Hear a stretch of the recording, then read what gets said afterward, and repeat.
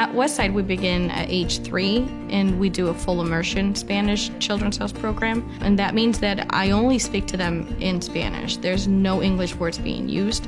What we want them to do is to open their brains to acquire a brand new language.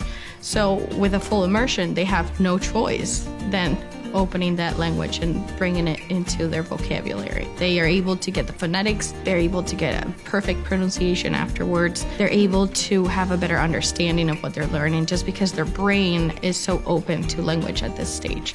One of the things that I really like about the Montessori school is the language programs. When the students go to high school, uh, they are very well prepared.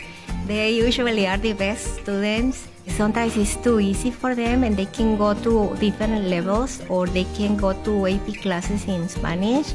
It's a very good feeling for me to, to see them growing. I think that from just how the brain works and to absorb it at a young age, you avoid some of the pitfalls that maybe you experience, high school students experience. And so I think that it helps at a young age to just have that naturalness with it and also interest in learning about another culture. I think that's a wonderful gift to have that. And in life, whether it's career, travel, education, there's very many facets where another language can help.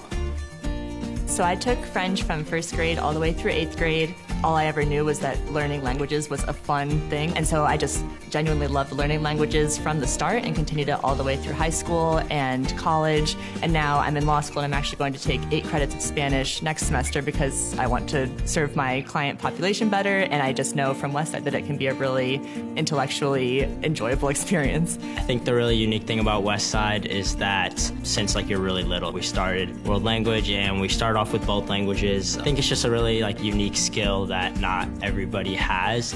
And Spanish is really big in the United States.